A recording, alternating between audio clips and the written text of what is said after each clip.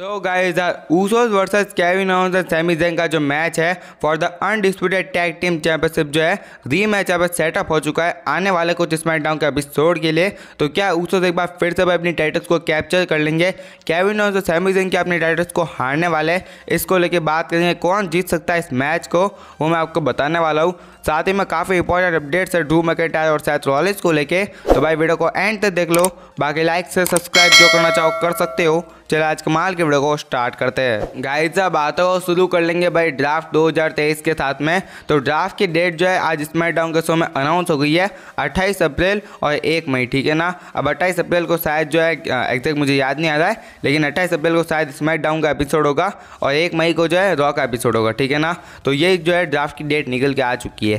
पहले आठ मई आई थी, लेकिन तभी मैंने कहा था कि ये मुझे गलती लग रही है। ड्राफ्ट जो है बैकलेस से पहले होगा और ये मेरी खुद की रिपोर्ट सही हो गई है। बैकलेस से पहले ड्राफ्ट होने वाला है। तो देखते भाई क्या कुछ होता है ड्राफ्ट में। नेक्स्ट हम बात कर लेंगे the Scottish warrior Drew McIntyre के बारे में। तो ड्रू मैकेंटायर की क्या सिचुएशन है, ये तो आपको पता ही है, मैंने हर वीडियो में जो इस बात को कवर किया है। लेकिन अभी ड्रू मैकेंटायर ने कुछ आउट ऑफ़ द बॉक्स कर दिया है। उन्होंने अपने ट्विटर प्रोफ़ाइल को पूरी तरीके से ब्लैकआउट कर दिया, आप देख पा रहे होंगे। सब कुछ ब्लैक कर दिया प्रोफ़ाइल फ़ोटो और जो बैनर होता है। और साथ में डब्ल्यू का जो रेफरेंस होता है ना, वो भी हटा दिए। तो यहाँ पे अब काफ़ी लोगों का ऐसा मानना है कि ड्रू मैकेंटायर जो डब्ल्यू छोड़ के जा चुके और काफ़ी लोगों का ये भी मानना है कि ड्रू मैकेंटायर कहीं नहीं जा रहे। ड्रू मैकेंटायर जो है बेसिकली हील टर्न करने वाले, उनका जो कैरेक्टर है वो चेंज होने वाला है। इसलिए उन्होंने ये जो है ब्लैकआउट किया है, ताकि जब वो रिटर्न करेंगे तो वो हील की तरह रिटर्न करने वाले तो दोनों बातें चल रही है फ़िलहाल भाई ट्विटर पर और दोनों मैं आपको बता चुका हूँ। लेट सी भाई कौन सी बात सही होती है। मैं तो नहीं चाहता बिल्कुल भी कि ड्रू मैकेंटायर कंपनी छोड़ के जाए। हील टर्न करो बढ़िया, और आ जाओ वापस कंपनी में। नेक्स्ट हम बात करने वाले मनी इन द बैंक 2023 को लेके। तो यहाँ पे दो अर्ली अपडेट्स निकल के आई है।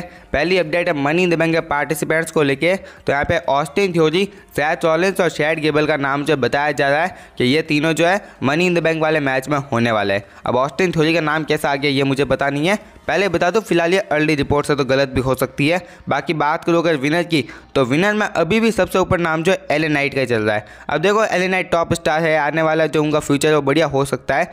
लेकिन भाई स्मैट डाउन के शो में एल नाइट जो है जेवर वुड से हार जाते हैं। और उसके बाद रिपोर्ट आती है कि ये मनी इन द बैंक जीतेंगे। तो पता नहीं, कैसे विश्वास करूँ मैं इस बात पर तो मैं तो भाई एल नाइट से उम्मीदें छोड़ चुका हूँ कि उनका कुछ होने वाला है बिकॉज़ जब वो स्मैट डाउन शो में ही नहीं जीत पा रहे तो मनी इन द बैंक तो क्या ही जीतेंगे। बाकी आपके क्या थॉट्स है? आप मुझे ज़रूर बताना। नेक्स्ट हम बात करने वाले हैं सैथ रॉलिस के वर्कआउट के बारे में, और इसको लेके गुड न्यूज़ आई है। और गुड न्यूज़ ये है कि जो भी अब तक हमें पता चला था, वो सब फेक है, ठीक है ना? कल रात को मैंने कहा था कि हो सकता है सैथ रॉलिस को लेके जो भी बातें चल रही है, वो एक फेक न्यूज़ हो। और वैसा ही हुआ है, सुबह जो है कुछ और भी सोर्सेज की तरफ़ से रिपोर्ट आई है कि सैथ रॉलिस डब्ल्यू को छोड़ के कहीं नहीं जाने वाले। ये सब जो है बस एक छोटी सी चीज़ को बड़ा दिखाया गया था। असल में सैथ रॉलिस ने कोई वर्कआउट नहीं किया, ठीक है ना? और किया भी है ना तो ऐसी कोई बहुत बड़ी टेंशन वाली बात नहीं है। आने वाले एक से दो हफ्तों में जो सैथ रॉलिस अपना रिटर्न कर लेंगे नया टॉप है। तो यहाँ पे कोई टेंशन वाली बात है नहीं। नेक्स्ट हम बात करने वाले हैं गंतर के बारे में। तो गंतर को लेके ये रिपोर्ट्स आ रही है कि गंतर जो है बैकलेस में और नाइट ऑफ़ चैम्बर्स में दोनों ही जगह अपनी जो है आईसी टाइटो को डिफेंड करने वाले ठीक है ना? और ये भी जो फिफ्टी फिफ्टी वाली न्यूज़ ही है, गलत भी हो सकती है, सही भी हो सकती है। लेकिन नेक्स्ट वीक के स्मैकडाउन के लिए गंतर का जो मैच है वो जेवे वुड्स के साथ ऑफिशियल हो चुका है और ये जो है टाइटल वाला मैच होने वाला है। अब वो बात अलग है कि हमें पता है कि गंथर जी जीतने वाले और जेवे वुड्स का कुछ होने वाला नहीं है बट ठीक है मैच ऑफिशियल कर दिया है डब्ल्यू ने तो मैंने आपको बता दिया। नेक्स्ट हम बात कर लेंगे आने वाले मन्ना टॉक के एपिसोड के बारे में। तो मन्ना टॉक के लिए यहाँ पे जो दो सेगमेंट ऑफिशियल किए हैं डब्ल्यू ने, एक तो अपना होने वाला टेस्ट स्टेटस का, जहाँ पे वो आके एक्सप्लेन करने वाली कि क्यों उन्होंने बैक नीच पर अटैक किया, और एक यहाँ पर जो मैच ऑफिशियल हुआ है Austin Theory versus Bobby Lashley का। अब मुझे ये बुकिंग बिल्कुल समझ में नहीं आती कि कहाँ बॉबी लेस्ली और ब्रॉन्स रेड की फ्यूड चल रही थी। उसके बीच में ऑस्टिन थ्योरी कहाँ से आ गए? तो अब क्या होगा, वो तो आने वाले मन्ना टॉक में पता चलेगा। बाकी आपके क्या थॉट्स है बॉबी लेस्ली वाली चीज़ पे? आप मुझे ज़रूर बताना। नेक्स्ट हम बात कर लेंगे द अमेरिकन नाइट में कोडी डोर्स के बारे में। तो कोडी डोर्स को लेकर भी बिल्कुल out of the box news आई है। और न्यूज़ ये है कि कोडी डोर्स है हॉलीवुड में जाना कंसिडर कर रहे हैं। दरअसल हॉलीवुड के कुछ फ़िल्मों के ऑफ़र आए हैं कोडी डोर्स को।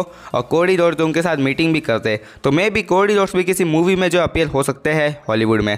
तो ये तो बिल्कुल आउट ऑफ़ द बॉक्स से न्यूज़ आई थी। मैंने ये तो बिल्कुल नहीं सोची थी कि कोडी डोर्स हॉलीवुड में जाएँगे। गाइस अब बात कर लेंगे नेक्स्ट फाइनल अपडेट के बारे में। और ये जो भाई Kevin Owens Sami Zayn versus Usos के री मैच को लेके। तो ये री मैच जो है मैंने आपको कल ही बताया था कि ऑफिशियल होने वाला है। और दो हफ़्ते बाद के लिए ये जो है ऑफिशियल हो भी चुका है। और क्यों हुआ? बिकॉज़ रोमन रेस कहा था, ठीक है? अब अगर आपने यहाँ पे ध्यान से स्मैकडाउन का एपिसोड देखा होगा तो आपने ये चीज़ नोटिस की होगी कि जब पॉल एमन कहते कि देखो भाई उसो जो है किसी भी हालत में टाइटस जीत के ही रहेंगे बिकॉज़ ट्राइबल चीफ का जो पेशेंस है वो लूज हो रहा है, ठीक है ना? तो कह तो रहे थे कैविन से सेमी जैन को, लेकिन उनकी जो आँखें जो नज़र है, वो थी ऊसोस की साइड में। तो कह सकते हो कि रोमा देन ने जो इनडायरेक्टली वार्निंग दी है ऊसोस को कि अगर तुम नहीं जीते ना तो मैं तुम्हारी ऐसी तैसी करने वाला हूँ। और देखो, ऐसा ही होने वाला है बिकॉज़ अगर ऊसो जीत गए तो तो भाई ब्लड लाइन ब्रेकअप कैसे होगी? ब्लड लाइन जो वापस साथ में आएगी, मज़ा तो तभी आएगा ना जब ऊसो नहीं जीतेंगे रोमन और गुस्सा होंगे, और यहाँ से जब ब्लड लाइन के ब्रेकअप की शुरुआत होगी। तो जो लोग ये सोचे कि भाई यहाँ पे ऊसो एक बार फिर से टाइटिन टाइटस को कैप्चर कर लेंगे तो आई डोंट थिंक कि ऐसा होने वाला है बिकॉज़ अगर डब्ल्यू को ऐसा करना होता ना तो वो ऊसोस की इतनी लंबी टाइटल उनको तुड़वाती नहीं, ठीक है ना दरअसल रेसलमेनिया में। तो आई डोंट थिंक कि ऐसा कुछ होने वाला है। मैच होगा क्लासिक एक्शन लेकिन वो ये एंड में कैविन और सेमी जो है, अपनी टाइटल्स को रिटेन कर लेंगे, और तभी मज़ा आने वाला है बिकॉज़ तभी जो है रोमन और जे ऊसो के बीच में टेंशन और भी ज़्यादा क्रिएट होगी, और ब्लड लाइन जो है ब्रेकअप की तरफ़ लीड करेगी, ठीक है ना। तो यही कुछ थे भाई मेरे ओपिनियंस इस मैच के ऊपर तो और जो अपडेट आई थी वो भी मैंने आपको बता दिया बाकी आपके थॉट्स आप मुझे ज़रूर बताना। फ़िलहाल इस वीडियो के लिए इतनी इन्फॉर्मेशन थी मैं मिलता हूँ किसी नए वीडियो किसी नए टेक केयर